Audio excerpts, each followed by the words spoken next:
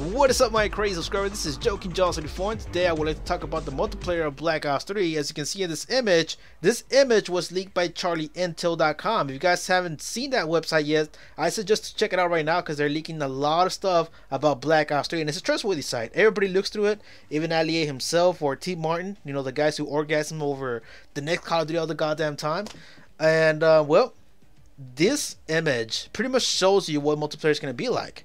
So let's read off the first part. The new movement system. Wow, you know, what is going to be implemented in this new game?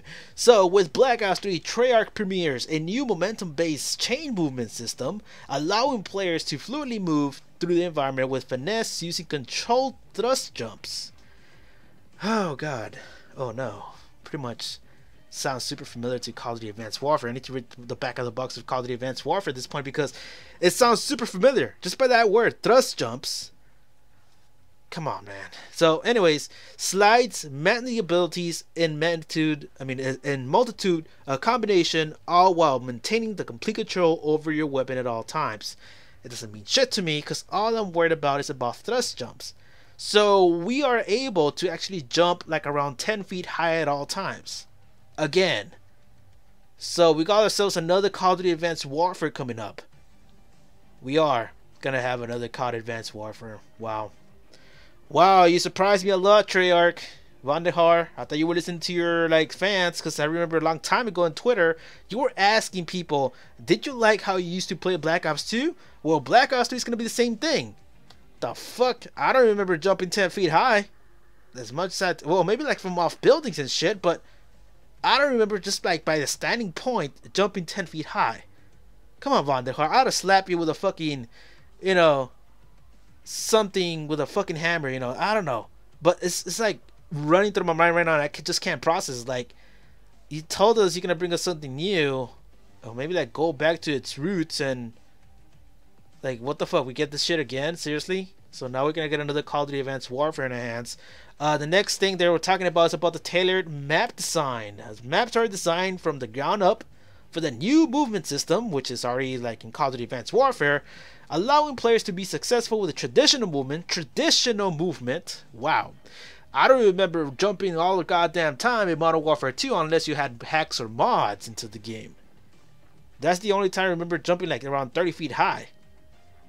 So I don't know if that's traditional, man. I, I don't think that's traditional at all as well as we advance tactics and maneuvers. Advanced tactics would be like, let me guess if there's somebody around that corner while running my ass over there, not jumping. So, uh, yeah. Specialist characters. Black Ops 3 multiplayer will also introduce the new specialist character system, which allows players to rank up and master each specific character's battle hardened cap.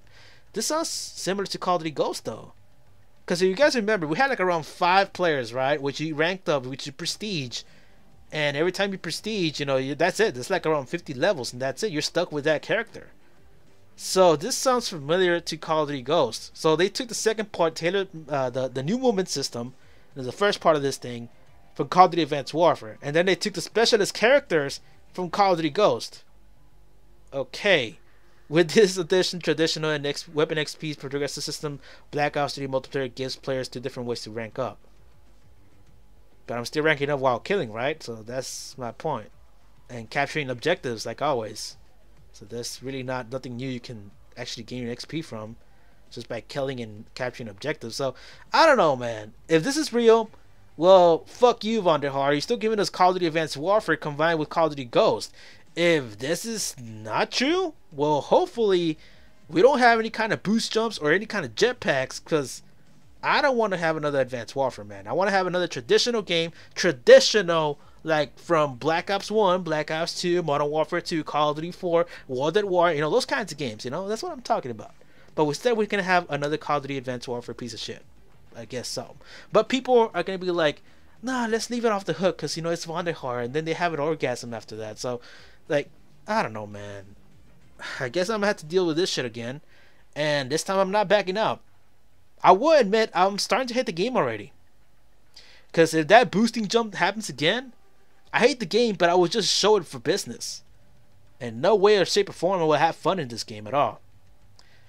Ah man, when will Activision learn?